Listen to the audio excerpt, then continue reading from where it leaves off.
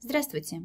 Сегодня с вами учитель географии средней школы номер один города Березовки Можейка Нина Викторовна. Тема урока – Витебская область. На щедрых, мудрых валек до тебе звена, лучоса, видьба, добрый плен приносить. Костелы, церкви велично сдауна, крыжи свои в облаке узносить. Нашли бы Витебск, Шчыры сын краіны роднай, між іншых слаўных гарадоў нязгаснай зоркай зяе. Наш гонар, дом сардэчнасці народнай, ён Беларусь сумленной працай прославляя. Витебская область – один из живописных уголков Европы. По красоте, уникальности фауны и флоры, по богатству заповедных мест трудно найти и равных. Расположена в северной части Республики Беларусь и занимает 40,1 тысяч километров квадратных, 19,3% территории и стоит на третьем месте после Гомельской и Минской областей. Граничит с тремя государствами – с Литвой, Латвией, Россией.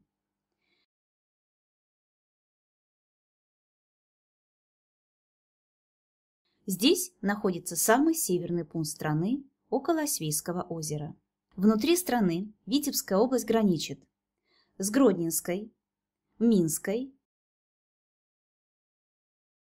и Могилевской областями. Основными полезными ископаемыми области являются торф, доломиты, строительные пески, песчано-гравийный материал, глины, сапропели, минеральные воды. В области около 30% общих запасов торфа, разведанных в республике, Торфяные месторождения распространены по территории области сравнительно равномерно. Есть во всех административных районах. Наибольшее количество месторождений находится в Полоцком, Витебском, Докшицком, Шумилинском, Шарковщинском, Миорском районах. Доломиты относятся к категории важнейших минерально-сырьевых ресурсов области. Используется для известкования почв, приготовления щебня, Месторождение доломитов находится в Рубе, в 18 километрах от областного центра на берегах Западной Двины и состоит из нескольких участков. Самый известный – карьер Гролева. Именно там находится единственное в республике место по добыче доломита. Повсеместно распространены на территории области строительные пески. По разведанным и взятым на баланс запасам гравийно-песчаных смесей область занимает второе место в республике после Минской. Витебская область обладает значительными ресурсами сапропелий, более 77% от республиканских запасов. На территории Витебской области выявлен целый ряд источников минеральных вод. Хлоридные воды известны в Витебском, Полоцком, Ушачском районах. Сульфатные воды разведаны в Городокском, Поставском, Ушачском районах. Хлоридно-сульфатные воды в Лепельском районе. Рельеф поверхности области имеет чашеобразную форму с полоцкой низменностью в центре которая окаймлена возвышенностями и равнинами. Абсолютные высоты на низменностях и равнинах составляют 130-160 метров, на возвышенностях 170-220. Высшая точка Витебской области находится на Витебской возвышенности и достигает 295 метров. Гора Горшева. Кстати, самый большой камень находится в деревне Горки Шумилинского района Витебской области. Длина камня 11 метров, ширина 5 метров, высота 3 метра. По мнению ученых, его подземная часть составляет не менее 3 метров. Из-за того, что его размеры точно неизвестны, посчитать массу камня очень сложно. Одни исследователи называют цифру в 295 тонн, вторые в 400. А единственная в Беларуси пещера природного происхождения находится возле озера Гинькова и деревни Сахновичи, Глубокский район Витебской области. Общая длина пещеры около 10 метров. Она имеет несколько выходов на поверхность. Витебская область – это северный регион республики, поэтому климатические показатели здесь более суровые, чем в других областях. На территории области выпадает 550-680 мм осадков. Вегетационный период составляет от 180 до 187 суток. На протяжении года в области преобладают западные ветры, продвигающиеся со стороны Балтийского моря. Область расположена в пределах Белорусского поозерья и занимает первое место по плотности речной сети, по количеству и общей площади озер.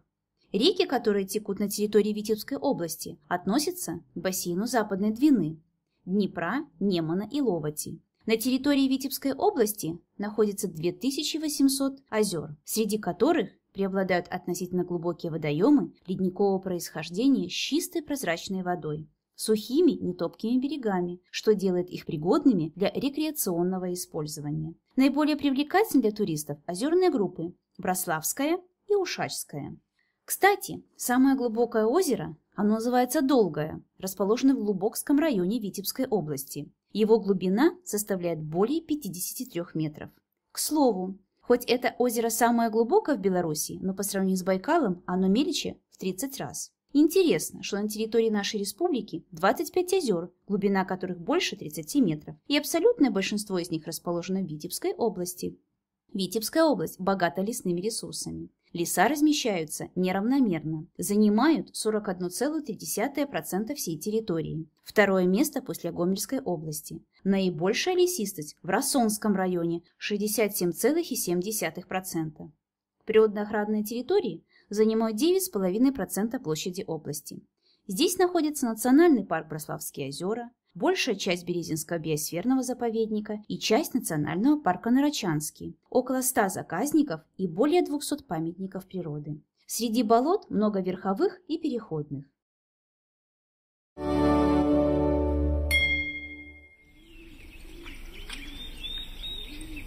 У каждого места на земле своя неповторимая мелодия. Услышать ее можно в переливах птиц, шепоте трав и в звучании речи. Понять ее все равно, что понять тайну национального характера. Присмотритесь и прислушайтесь. Вот так звучит Брасловщина. А она – визитная карточка Беларуси, ее жемчужное ожерелье, сотканное из голубых озер и ограненное изумрудной короной лесов, оттененное золотом песчаных пляжей. Все это – бесценное богатство, которое бережно хранят белорусы и которым с радостью готовы поделиться с гостями, ценителями природной красоты. Брасловщина – заповедный край – это белорусское поозерье, где сосредоточено большинство наших крупнейших озер. Вашему взору сразу предстанет истинная гармония природы, погруженные в туманную дымку холмы, озера, перелески, болотца в тростниках, аккуратно возделанные поля с хуторами. Национальный парк Брославские озера расположен в 250 километрах от Минска на северо-западе страны. Его площадь почти 70 тысяч гектар. На территории парка более 70 озер. По белорусскому поозерью проходит водораздел Черного и Балтийского морей. Неизгладимый след оставила на ландшафте этих мест геологическая история Земли – Ледник, прошедший здесь в доисторическую эпоху, принес множество валунов из Скандинавии, прорыл озерные котловины, создал моренные гряды и холмы. Природный комплекс национального парка рассматривается в качестве эталона ландшафта Балтийских поозерий, а глубоко вдающиеся в озера мысы, высокие моренные острова, а также крупные валуны и их скопления делают разнообразным ландшафт парка.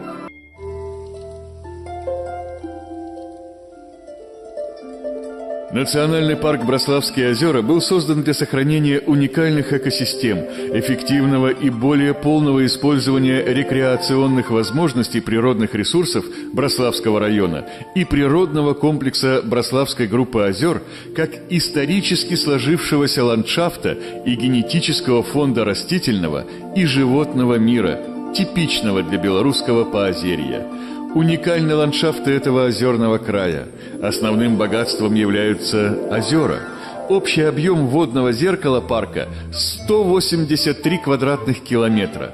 Привлекательность этих озер в том, что каждая из них особенная и имеет исключительные черты, а в целом они составляют прекрасный природный комплекс, для области характерно максимальное в стране распространение дернового подзолисто-заболоченных суглинистых почв – более 50%. Население на 1 октября 2019 года составляет 1 миллион 135 тысяч 731 человек. 77% населения проживает в городах, Плотность населения самая низкая в Беларуси – 30 человек на километр квадратный. По национальному составу преобладают белорусы – 85%, русские – более 10%. Ключевая роль в обеспечении развития экономики принадлежит промышленности. По величине валового регионального продукта 7,9% Витебская область превосходит только Могилевскую. Количество промышленных предприятий самое маленькое. Основными индустриальными центрами являются Витебск, Орша, Новополоцк, Полоцк, Поставы, Глубокое, Лепель.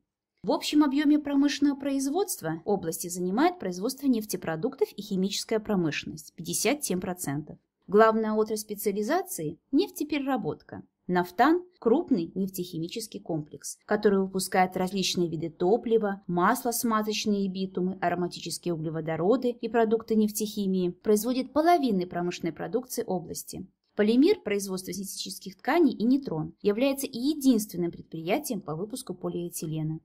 Доломит – единственное в республике и крупнейшее в Европе предприятие по добыче и переработке доломитового сырья. Продукция предприятия востребована в строительстве, нефтеперерабатывающей промышленности, стекольном производстве, сельском хозяйстве. Открытое акционерное общество «Доломит» уже давно стало визитной карточкой Витебской области, являясь единственным в Беларуси и крупнейшим в Европе предприятием по добыче и переработке доломитового сырья.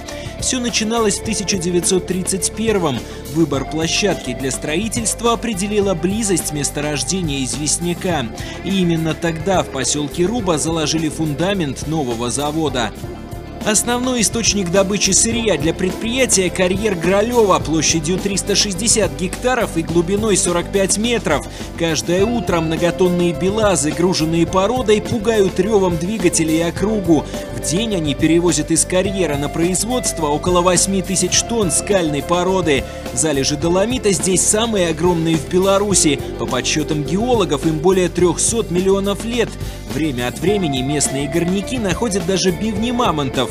Сырьевая база из четырех участков содержит запасы в 739 миллионов тонн. В области много льнозаводов, но Аршанский льнокомбинат является единственным в Республике Беларусь и самым крупным в странах СНГ и Европе текстильным предприятием, перерабатывающим льняное волокно и выпускающим льняные ткани а также готовые штучные и швейные изделия из них. Есть на территории области обувная промышленность. Марка, Билвест производит почти 50% обуви Беларуси. Витебская ковры производят более 90% ковров. Область также специализируется на производстве отдельных видов продукции машиностроения. Производство пищевых продуктов составляет около 20% обрабатывающей промышленности области. Это мясная и молочная продукция, а также молочно-консервная продукция. Витебская область выделяется по производству электроэнергии. Лукомская ГРЭС является самой мощной в стране. А в поселке городского типа Ореховск работает первая в стране белорусская ГРЭС. Во всех крупных городах есть ТЭЦ. Новополоцкая ТЭЦ крупнейшая в области. Достаточно много ГЭС, в том числе крупнейшая в стране Витебская и Полоцкая. На долю производства и распределения электроэнергии приходится почти 15% промышленного производства.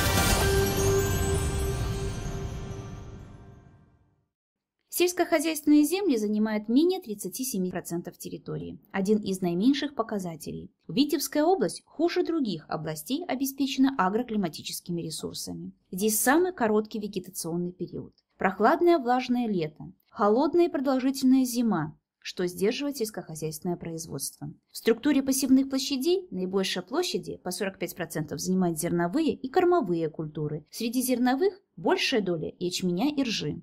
Здесь наиболее благоприятные почвенно-климатические условия для выращивания льна и рапса. По производству льного волокна область опережает другие районы – 25% продукции. Масло семян рапса почти 20%. Область специализируется на мясомолочном скотоводстве, свиноводстве, кормопроизводстве в сочетании с зерновым хозяйством, развитом льноводстве. По валовому производству мяса и молока по 12% занимает последнее и предпоследнее место в стране. Несколько лучше развито птицеводство. В структуре ВРП области на долю сельского хозяйства приходится около 12%. Экономико-географическое положение Витебской области повлияло на развитие транспортной системы области. Ближе всех остальных к прибалтийским государствам, их морским портам, а также к российскому мегаполису Санкт-Петербургу и имеет с ними хорошую транспортную связь. Территория области включена в состав двух транспортных европейских коридоров. Важное значение имеют также железные дороги. По протяженности железных дорог и автомобильных область занимает одно из первых мест в стране. Однако по грузообороту и оказанию транспортных услуг одно из последних. Основные железнодорожные узлы – Витебск, Орша и Полоцк. Международные железные дороги, соединяющие Россию с Украиной, Польшей и Литвой, проходят через территорию области. В 10 километров от Витебска расположен международный аэропорт, имеющий пропускную способность до 150 пассажиров. В грузообороте великороль трубопроводного транспорта имеются газопроводы и нефтепровод. В настоящее время Витебская область является участником программы трансграничного сотрудничества регионы Балтийского моря, Литва, Латвия, Беларусь и входит в состав партнеров проекта «Зеленый транспортный коридор Восток-Запад». В Витебской области сконцентрирована широкая сеть учреждений. Пять учреждений высшего образования, почти 30 колледжей и лицеев, Витебская область занимает лидирующее положение в стране по количеству музеев. Основными индустриальными центрами являются Витебск, Орша, Новополоцк, Полоцк, Поставы, Глубокая Лепель. Витебск – второй после Полоцка старейший город Беларуси. Легенда гласит, что он был основан княгиней Ольгой в 974 году на пересечении важных торговых путей. Расположен в восточной части области на реке Западная Двина четвертый по численности населения после Минска, Гомеля и Могилева. Население 378-459 тысяч человек. Отрасли промышленности города представлены машиностроительной, металлообрабатывающей, легкой и пищевой промышленностью, производством электроприборов, строительных материалов и деревообработки. За пределами республики известна продукция предприятий «Витязь», «Марка», «Белвест», «Витьба». На территории города располагается свободная экономическая зона Витебск. Самая известная достопримечательность Витебска – это летний амфитеатр, где каждый год проводится престижный международный фестиваль «Славянский базар». Витебск называют городом храмов, двины и трамваев, у которых, кстати, есть собственный музей. С Витебском навсегда связано имя великого Марка Шагала, который родился здесь и здесь же провел юношеские годы. В городе пять учреждений высшего образования и их филиалов специализированные лицеи и колледж. Город монастырей и родина классика белорусской литературы Владимира Короткевича Орша. Центр Аршанского района Витебской области. Располагается в верховье Днепра при впадении в него реки Оршицы 80 километров к югу от Витебска. Промышленность представлена предприятиями машиностроения, металлообработки, легкой промышленности, строительных материалов, мясомолочной, пищевой и других отраслей. Орша – один из крупнейших железнодорожных узлов Беларуси, восточные ворота Белоруссии.